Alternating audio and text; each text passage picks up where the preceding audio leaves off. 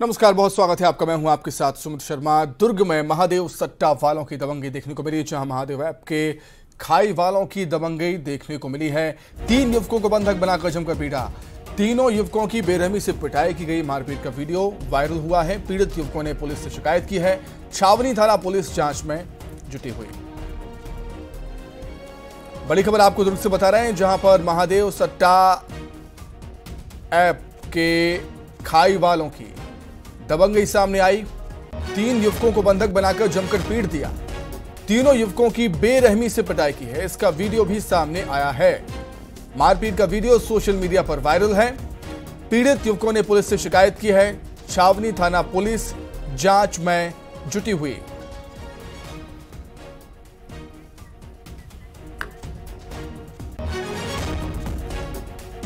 अधिक जानकारी के लिए सीधे हम दुर्ग का रुख कर, कर लेते हैं। मिथिलेश ठाकुर हमारे साथ रुके हैं। मिथिलेश क्या कुछ जानकारी है?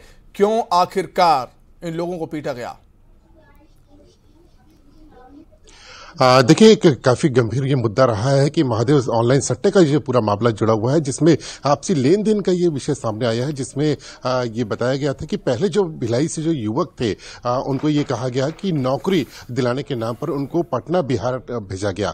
वहाँ पर जब उनको ये पता चला कि उनको नौकरी नहीं, बल्कि महादेव ऑनलाइन सट्टे का एक जो पैनल है, उसको संचालित करने दिया जा रहा है, जिस वजह से वे भागने के लिए मौका तलाश रहे थे। लेकिन इसी बीच में उनको बंधक बना लिया गया, वहाँ पर उनसे पिटाई की गई और उनको वहाँ पर काम पे रखा गया। करीब एक महीने तक उनसे काम लिया गया और उसके बाद में जब उनको मौका लिया तो वे वहाँ से भाग निकले। जब वे भिलाई आए तो यहाँ पर उनको जो जिन्होंने भेजा था उन्होंने उसको बंधक बना लिया एक युवक को पहले पकड़ा गया। उसके बाद में उनके दो अन्य साथियों को भी पकड़ा गया। उनसे जमकर मारपीट की गई। उनका यह आरोप था कि जिस तरह से वे वहाँ से काम छोड़कर भाग निकले हैं, इस वजह से उनको काफ़ी नुकसान हुआ तो उनसे वो दस लाख रुपए मांग रहे थे। इसी बात को लेकर उनसे मारपीट की गई और उनको भगा दिया गया। जब युवक इसकी शिकायत करने की कोशिश किए तो थाने में भी जो उनकी ठीक से बात नहीं सुनी गई और आखिरकार ये मामला लटका रहा। करीब आठ महीने के बाद इस मामले ने फिर तूल पकड़ा है। इस मामले में एक युवक ने पुलिस से शिकायत की है और उससे शिकायत के आधार पर अब ये कार्रवाई की जाएगी आगे की। लेकिन जिस तरह से महादेव ऑनलाइन सट्टे का जो लगातार कारोबार चल रहा था कई लोगों की ये शिकायत भी होती थी कि कोई शिकायत भी करता था, लेकिन उनकी बातें नहीं सुनी जाती थी। इस मामले में कुछ आरक्षक भी मिली भगत में भी सामने आए थे जब महादेव ऑनलाइन सट्टे के में लिप्त पाए गए थे। तो कहीं ना कहीं इसमें भी पुलिस वालों की जो है संलिप्तता नज़र आ रही है, क्योंकि उन्होंने जो है कार्रवाई नहीं की और यदि पहले कार्रवाई की होती तो शायद ये मामला इतना लंबित नहीं रहता, लेकिन अभी लंबित अभी भी है। तो पूरे मामले में भी शिकायत की शिकायत की गई है और पुलिस ने आश्वासन दिया है कि जो जांचों की जाँच की जाएगी और उसके बाद में आगे की कार्रवाई की जाएगी। बिल्कुल ठीक बात कही आपने कि पुलिस के संरक्षण में ही ये सब संभव है। मिथिलेश, बहुत शुक्रिया। मिथिलेश, आपका जुड़ने के लिए तमाम बातचीत के लिए आपका बहुत धन्यवाद। आगे बढ़ेंगे रायपुर में बुलडोजर एक्शन जारी है। अतिक्रमण पर निगम का एक्शन देखने को मिला।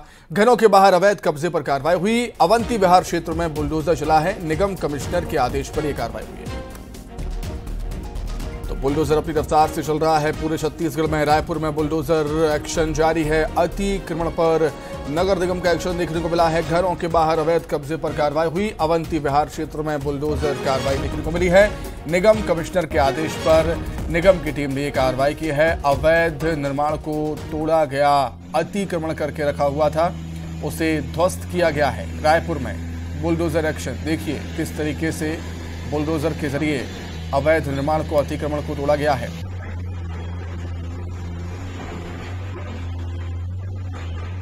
तो छत्तीसगढ़ में जब से बीजेपी की सरकार आई है सत्ता में तब से बुलडोजर अपनी फुल स्पीड में, टॉप गियर में दौड़ता हुआ हमें नज़र आया है। हर दिन हम बुलडोजर की कार्रवाई को देख रहे हैं, छत्तीसगढ़ में। इस बार रायपुर में कार्रवाई हुई।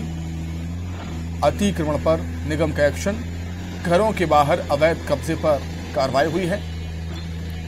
अवंती बिहार क्षेत्र में बुलडोजर चला है।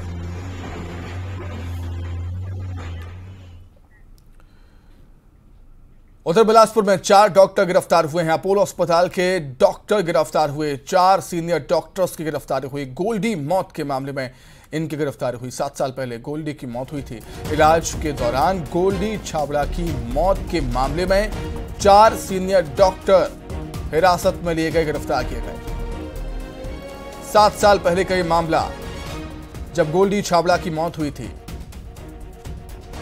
और इस मामले में अब चार सीनियर डॉक्टर पुलिस के हत्थे चढ़े हैं।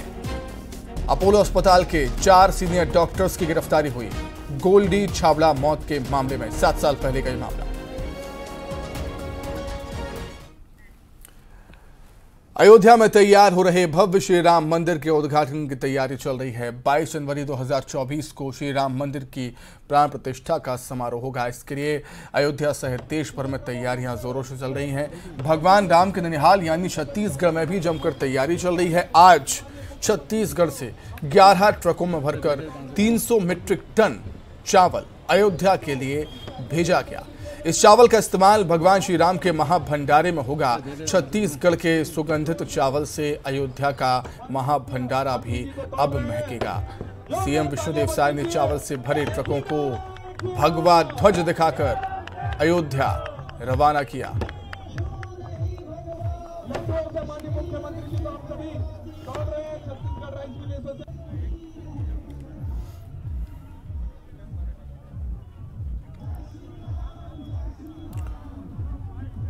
तो छत्तीसगढ़ से 300 मीट्रिक टन चावल भेजा गया है। रामनगरी में छत्तीसगढ़ के चावल का भोग लगेगा। महाभंडारे में जो भोग बनेगा, वो इसी चावल से बनेगा। अयोध्या को राम के ननिहाल की भेंट के तौर पर इसे देखा जा रहा है। और खाद्य मंत्री जी तो शायद वो कृतार्थ हो गए। कि खाद्य मंत्री बनने के बाद उनके हाथ से पहला कोई काम हो रहा है तो छत्तीसगढ़ के भांजे प्रभु राम को चखने के लिए चावल जा रहा है। शायद प्रभु राम भी इंतज़ार कर रहे थे कि मेरे मामा घर से मेरा भोजन आएगा।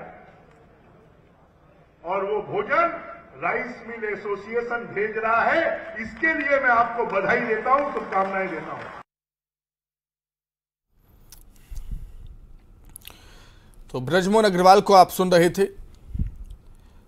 बीजेपी की सरकार को वो सौभाग्यशाली बता रहे हैं कि ये पुण्य काम करने का अवसर बीजेपी सरकार को प्राप्त हुआ है।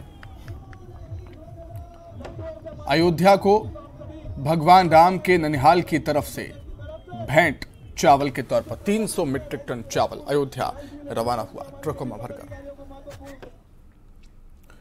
छत्तीसगढ़ की खेल और युवा और राजस्व मंत्री टंकराम वर्मा बड़ौदाबाजार पहुँचे। इस दौरान कार्यकर्ताओं ने उनका जोरदार स्वागत किया और मंत्री टंकराम वर्मा ने न्यूज़ एटीन से खास बातचीत की और कहा कि राजस्व विभाग में लंबे समय से पदस्थ अधिकारियों का तबादला ना करके उनको वहीं रखकर समस्या का समाधान करना होगा। साथ ही उन्होंने कहा कि अवैध शराब का व्यापार करने वाले लोगों को बख्शा नहीं जाएगा। इसके अलावा चखना सेंटर्स और अतिक्रमण करने वालों के खिलाफ भी कार्रवाई की जाएगी। अपने अधिकारी अभी भी जमे हुए हैं। क्या उनका तबादला होगा या फेरबदल देखिए तबादला कोई समस्या का समाधान नहीं होता। जो समस्या मूलक है उसको एक जगह दूसरे भी जगह बिठा दोगे तो वहाँ भी वही करेगा। तो मैं मानता हूँ कि ट्रांसफ़र जो है इस कोई समाधान नहीं है। उसको वहीं रख के वहीं ठीक करना पड़ेगा। अवैध शराब को लेकर आपने एक बड़ी बात कही। नहीं अवैध शराब तो बंद होना चाहिए। बंद कराएँगे। ये कोचियाईगिरी चलेगा नहीं चखना सेंटर ये फालतू काम कुछ नहीं होगा। हम किसी से कोई समझौता नहीं करेंगे। जो हमारी छवि है, जो हम जानते हैं जो करते हैं समाज सेवी हैं समाज सेवा करेंगे, ये मंत्री का पद जो है हमारे को गर्मी नहीं लाएगा, न हम बहकेंगे नहीं।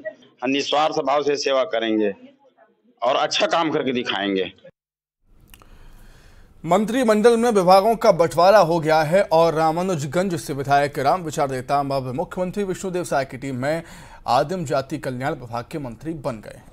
बलरामपुर पहुँचे, राम विचार नेताम ने कहा कि उनकी प्राथमिकता पिछड़े क्षेत्रों के विकास की रहेगी। राम विचार नेताम की गिनती प्रदेश में कद्दावर आदिवासी नेता के रूप में होती है। राम विचार नेताम की शिक्षक की नौकरी छोड़कर अविभाजित मध्य प्रदेश के जमाने में राजनीति में सक्रिय रही हैं। नेताम रमन सिंह सरकार के दो कार्यकाल में कई महत्वपूर्ण विभागों के मंत्री रहे हैं। इसके साथ ही नेताम राज्यसभा सदस्य भी रहे हैं। आदिवासी बाहुल्य सरगुजा के रामानुजगंज सीट से छठवीं विधानसभा में सदस्य निर्वाचित राम विचार नेताम का कहना है कि वे अनुसूचित जाति, जनजाति, बाहुल्य क्षेत्रों के लिए बेहतर कार्य योजना बनाकर काम करेंगे। सबसे पहले प्राथमिकता तो हम लोग मोदी जी की गारंटी के तहत जो जो घोषणा किए हैं, वो सब है। उसको पूरा करना हम सबका प्रथम दायित्व है। और इसके साथ साथ हम अपने क्षेत्र के साथ साथ प्रदेश के लिए जो बेहतर हो सकता है, वो सब हम लोग काम करेंगे। बीजेपी के नेता अनुराग अग्रवाल ने पीसीसी चीफ दीपक बैज पर निशाना साधा। उन्होंने कहा कि कांग्रेस को मिली करारी हार ने दीपक बैज को विचलित कर दिया है। उन्हें याद रखना चाहिए कि कांग्रेस की सरकार सूबे में आई थी, तब उन्होंने वरिष्ठ नेताओं को दरकिनार कर दिया था। हमने पीएम मोदी की गारंटी को पूरा करने का काम शुरू कर दिया है। कांग्रेस की हार ने उनके अध्यक्ष दीपक बैज को विचलित कर दिया है। और वे स्मृति लोप का शिकार हो गए हैं। याद करिए दीपक जी, आपके कार्यकाल में आपने सत्यनारायण शर्मा जी, धनेन्द्र साहू जी और अमित शुक्ल जी से कई वरिष्ठों को दरकिनार कर दिया, बल्कि घर बैठा दिया और विभिन्न मौकों पर उन्हें अपमान करने से नहीं छोड़े। भारतीय जनता पार्टी संतुलन बनाते हुए वरिष्ठों के अनुभव को और युवा जोश को लेकर यह सरकार चलाएगी और निसंदेह जिस प्रकार से इसकी कार्यप्रणाली प्रारंभ हो गई है, मोदी जी की गारंटी पूरी होनी प्रारंभ हो गई है, ये जनता के सेवा के लिए लगातार लगे रहेगी। आपने तो एक व्यक्ति को आगे बढ़ाने के लिए पूरी कांग्रेस सरकार को ताक पर रख दिया है। भारतीय जनता पार्टी के उपाध्यक्ष और यादव समाज के प्रदेश कार्यकारी अध्यक्ष को बीजेपी में उनके ही समकक्ष नेता हिरेंद्र सिंह बना ने फ़ोन पर धमकी दी। बीजेपी नेता और यादव महासभा के प्रदेश कार्यकारी अध्यक्ष आर एन यादव ने पार्टी के संभागीय प्रभारी विजय द्विवेदी गुना पुलिस और राष्ट्रीय स्वयंसेवक संघ के पदाधिकारियों से शिकायत करते हुए एक वीडियो भी सार्वजनिक किया। बता दें कि धमकी देने वाले भाजपा नेता हीरेंद्र सिंह बंटी बना और पीड़ित नेता आर एन यादव दोनों ही बीजेपी में जिला उपाध्यक्ष का पद संभाल रहे हैं। हीरेंद्र सिंह बंटी बना ने हाल ही में राघोगढ़ विधानसभा से दिग्विजय सिंह के पुत्र जयवर्धन सिंह को चुनाव में कड़ी चुनौती पेश की थी।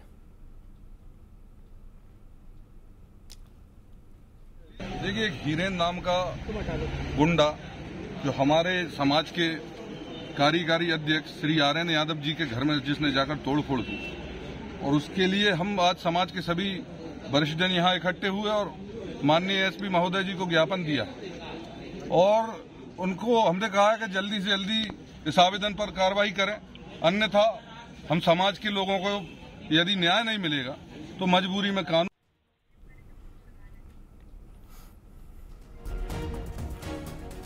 तो धमकी देने वाले बीजेपी नेता हिरेंद्र सिंह और पीड़ित नेता आर एन यादव दोनों ही बीजेपी में जिला उपाध्यक्ष का पद संभाल रहे हैं। बंटी बना ने आर एन यादव को धमकाया है। ये बात सामने आई है। पहले धमकी दी और फिर घर पहुँच गए हिरेंद्र सिंह। पीड़ित नेता ने वीडियो सार्वजनिक कर दिया।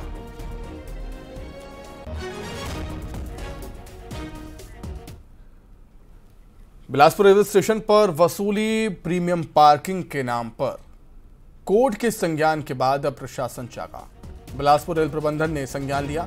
वाणिज्य निरीक्षक को सस्पेंड कर दिया। ठेकेदार निमिष मिश्रा पर जुर्माना लगा दिया। दस हज़ार रुपये का। तो बिलासपुर रेलवे स्टेशन पर वसूली हो रही है। प्रीमियम पार्किंग के नाम पर यह वसूली चल रही है। कोर्ट ने संज्ञान लिया, उसके बाद प्रशासन नींद से जागा है।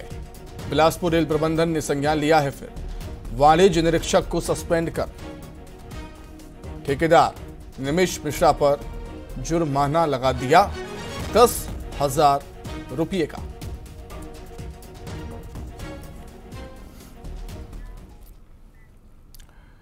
छत्तीसगढ़ में बिना फिटनेस के कंडम बसें यात्रियों के लिए सड़कों पर फर्राटे भरते दौड़ रही हैं। यात्रियों को लेकर मध्य प्रदेश के गुना में बस और ट्रक के बीच टक्कर होने से बस में आग लग गई थी। तेरह लोगों की जलकर मौत हो गई थी। अब इस हादसे के बाद छत्तीसगढ़ में सबक नहीं लिया जा रहा। यात्री अपनी जान जोखिम में डालकर सफ़र करने को मजबूर, जिन्हें डर बना रहता है कि कहीं बस सड़क हादसे का शिकार ना हो जाए, ब्रेक फेल ना हो जाए। परिवहन विभाग, कुंभकर्णी नींद में सोया है। और बस यात्री सफ़र करते वक्त अपनी सुरक्षा को लेकर चिंतित हैं। गुणा में बस और डंपर के बीच भिड़ंत हो गई, जिससे बस जलकर खाक हो गई, जिसमें तेरह लोगों की मौत हो गई। तो क्या छत्तीसगढ़ में इस हादसे के बाद सबक लिया जा रहा है? आपको दिखाते हैं, देखिए कि किस तरह बिना फिटनेस के जो है बसें सड़कों पर दौड़ती है। अब इस बस को हम दिखाते हैं जिसका कांच टूटा हुआ है और इस बस का कितना फिटनेस है, ये देखने वाली बात है। और इसी तरह जो है, बस जो है सड़कों पर दौड़ती है। बस में सवार यात्रियों से हमने बात की। उन्होंने ज़्यादातर ये कहा कि बस में वो जब बैठते हैं तो उन्हें एक तरह से डर बना रहता है कि कहीं गाड़ी जो है सड़क हादसे का शिकार ना हो जाए। यात्री जो है अपनी जान जोखिम में डालकर वो सफ़र करते हैं। और जो छत्तीसगढ़ में बसें दौड़ी है, ज़्यादातर बसों में फिटनेस नहीं है। गुना में जो हादसा हुआ है, उससे सबक लेना चाहिए और बसों की फिटनेस की जाँच करना चाहिए। हालाँकि जो अधिकारी हैं, वो कहीं ना कहीं चुप्पी साधे हुए हैं। हमने संपर्क करने की कोशिश की लेकिन अधिकारी से संपर्क नहीं हो पाया और हमने ज़्यादातर बसों को देखा है जो, जिनका फिटनेस बहुत ही कमज़ोर है, फिर भी वो सड़कों पर दौड़ रही हैं और यात्री जो सफ़र कर रहे हैं वो अपनी जान जोखिम में डालकर चल रहे हैं। तो मध्य प्रदेश के गुणा में जिस तरह से बस जो है, सड़क हादसे की शिकार हुई है और तेरह जिंदगियाँ जल गई, उनकी मौत हो गई तो इससे तमाम लोगों को सबक लेना चाहिए। ज़्यादातर छत्तीसगढ़ में सबक लेना चाहिए और फिटनेस के साथ ही बस को वो चलाए। ताकि यात्रियों की सुरक्षा हो सके और बस भी सड़क हादसे की शिकार ना हो। न्यूज़ एटीन के लिए गरियाबंद से शेख इमरान। सीधी में बड़ा सड़क हादसा हो गया। हाईवा ने ऑटो को ज़बरदस्त टक्कर मार दी और इस सड़क हादसे में एक बच्चे सहित चार लोगों की मौत हो गई। ऑटो में पाँच लोग सवार थे। हादसे के बाद लोगों ने जमकर हंगामा किया। पुलिस और ग्रामीणों में नोकझोंक भी हुई। कोतवाली थाना इलाके में शिवपुरवा की ये घटना बताई जा रही है। जहाँ पर तेज रफ्तार हाईवा ने ऑटो को टक्कर मारी। ऑटो की हालत आप देख सकते हैं। चकना चूर हो गया है ऑटो पर खच्चड़ गए हैं ऑटो के। इस दर्दनाक सड़क हादसे में चार लोगों की जान चली गई है। एक बच्चे सहित चार लोगों की जान चली गई। पाँच लोग सवार थे इस ऑटो में। तेज रफ्तार हाईवा ने इस ऑटो को ज़बरदस्त टक्कर मार दी। उसके बाद ग्रामीण आक्रोशित हो गए घटना के बाद। जमकर बहस हुई, पुलिस और ग्रामीणों के बीच जमकर नोक झोंक हुई है। एक बार फिर से रफ्तार ने जान ले ली। रायपुर में सैन समाज के तीन सदस्यों की आत्महत्या के मामले में वैशाली नगर विधायक रिकेश सेन ने दुख ज़ाहिर किया। उन्होंने कहा कि समाज की दस सदस्यीय कमेटी घटनास्थल पहुंचकर मामले की जाँच करेगी। साथ ही विधायक ने समाज के लोगों से अपील की है कि कोई भी समस्या होने पर उनसे संपर्क करें। समाज के लोगों की समस्या दूर करने की वो हर संभव कोशिश करेंगे। अपने समाज की ओर से, अपने तरफ़ से तीनों को विनम्र श्रद्धांजलि करता हूँ। और समाज के तरफ़ से एक जाँच कमेटी बनेगी। और समाज के दस लोग इस जाँच कमेटी में अलग अलग ज़िले से लोग वहाँ पे जाएँगे। हो सकता है इसमें कोई बड़ा कारण भी हो, क्योंकि तो कभी जो दिखता है वो होता नहीं है। हो सकता है हम आत्महत्या का स्वरूप समझ रहे हों, लेकिन जाँच के बाद पता चला कुछ और भी हो सकता है।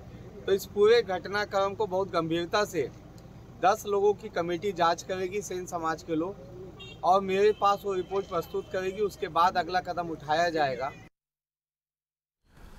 जांजगीर चांपा में खबर का असर हुआ है। Collector Richa Prakash Chaudhary action mode में नज़र आई हैं। अवैध प्लॉटिंग के खिलाफ बड़ी कार्रवाई देखने को मिली। एसडीएम और सीएमओ को निर्देश दिए गए। शहर और ग्रामीण क्षेत्र में कृषि भूमि और अवैध प्लॉटिंग पर जल्द ही कार्रवाई होगी। पंजीयन नहीं होने पर कॉलोनाइजर पर कार्रवाई होगी।